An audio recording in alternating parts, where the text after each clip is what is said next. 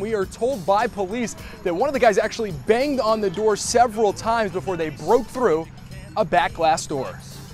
Yeah, I got three black males that are at my house.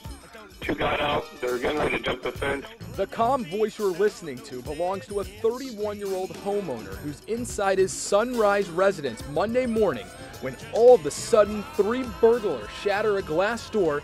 No, at my house right now. The man remains on the phone with dispatch while he retrieves his shotgun. Seconds later, the homeowner opens fire.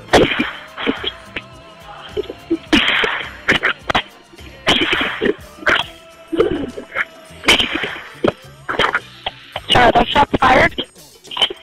Yeah, Tell me what is happening, sir. I killed one, I think. The intruder, now identified as 21 year old Albert Jones, is dead, but his two partners in crime are already on the run, fleeing from the home before police arrive. Later in the day, police would catch up with the other two intruders 26 year old Curtis Jeffries and 23 year old Jose Coleman, both facing murder charges.